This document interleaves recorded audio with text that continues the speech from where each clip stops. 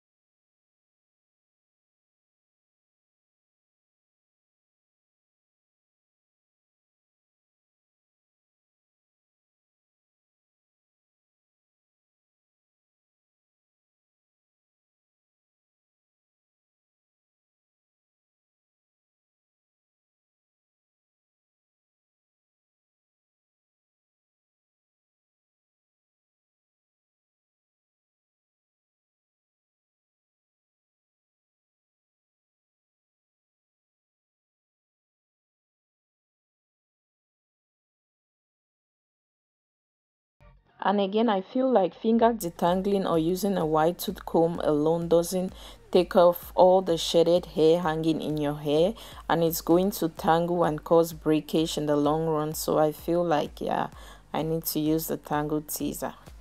So now i'm done and i'm just going to twist up that section. Now over to method 2 i'm going to work on the other section. It's going to be the same process but I'm just going to use water and oil to detangle my hair this time around.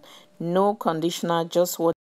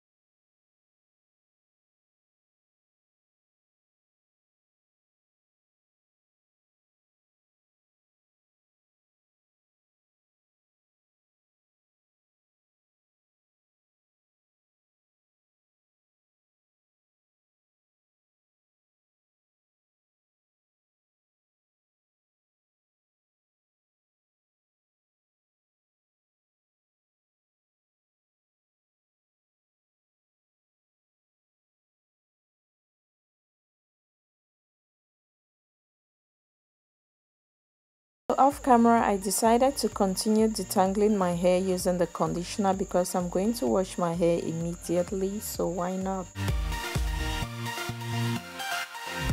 So guys i'm done and that's it for this video. I hope you learned something and i hope this video was able to help you. So for this side i use water and oil to detangle my hair and you can see that it's the same process but i just use water and oil and it works perfectly and for this other side i use water and a conditioner and then the various tools that you watched me use. So that's how i detangle my hair. For the oil i mostly do this when i'm doing a hot oil treatment also and for a conditioner when i'm in the shower. But you can do this out of the shower so that you reduce the the length of time you're staying in the bathroom so you can do this out of the bathroom and detangle your hair before you get into washing. so that's all and i hope this video helped you. Thank you for watching till the end and i'll see you in my next video. Bye